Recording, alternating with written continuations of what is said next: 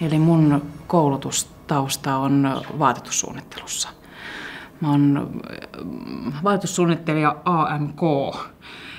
Ja sitten mä oon täydentänyt taideteollisessa korkeakoulussa elokuvapukusuunnittelijan täydennyskoulutuksessa. Eli, eli tota, se on mun elokuva-alan koulutustausta. Mä oon tosiaan ton koulutuksen jälkeen niin tehnyt mainoselokuva tuotantoja, tuotannoissa duunia. Mä oon tehnyt stylistina, puvustajana, kateristina, Mä oon tehnyt roolitusta niihin, mä oon tehnyt jonkun verran lavastusta. Ihan sitä kaikkea, niin kuin, mitä, mitä tota, vaan voi kuvitella, että siellä taustatiimissä tarvitsee tehdä. Ja harjoitus lähtee. Olkaa hyvä. Sitten mä jotenkin ajauduin tekemään nimenomaan niin sit enemmän ja enemmän niitä tuotannon tehtäviä enemmänkin kuin niitä taiteellisia tehtäviä tai, tai, tai näin. Ja, ja tota, sitten mua pyydettiin tekemään tämmöistä niin määräaikaista, vähän pidempää määräaikaista duunia yhteispottifirmaan ja, ja mä ajattelin, että no hei, mikä, mikä että kiva nähdä, millaista se on. No kyllä musta on todella kiva ruveta suunnittelemaan aina uutta niin kun tulee se käsikirjoitus ja, ja sitten siinä on ohjaajan näkemys ja siinä on tuottajan näkemys ja sitten siihen ruvetaan keräämään sitä, sitä niin kuin keskeistä porukkaa kuvaajia, kuvaajia, lavastajia ja ruvetaan heidän kanssa suunnittelemaan sitä, että minkälainen tästä elokuvasta tulee ja mitä kaikkea tästä tulee tapahtumaan. Se on musta todella kivaa. Täällä on ihan mahtavia ihmisiä, musta on ihana tehdä niiden ihmisten kanssa töitä.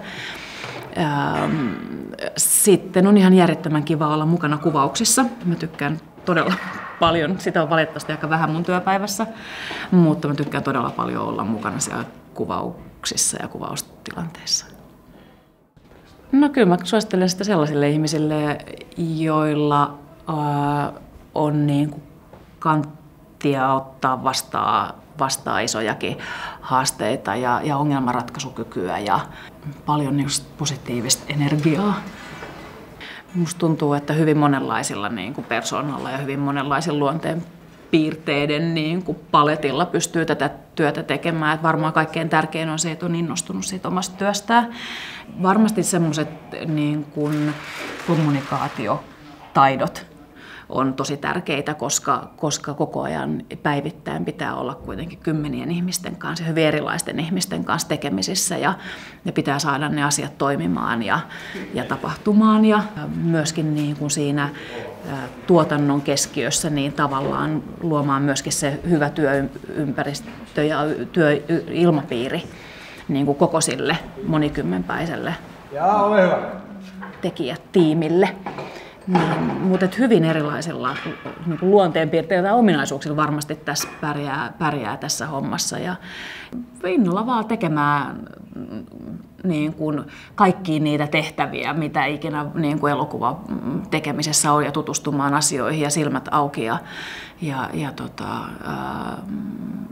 tämä on tosi kiva hommaa.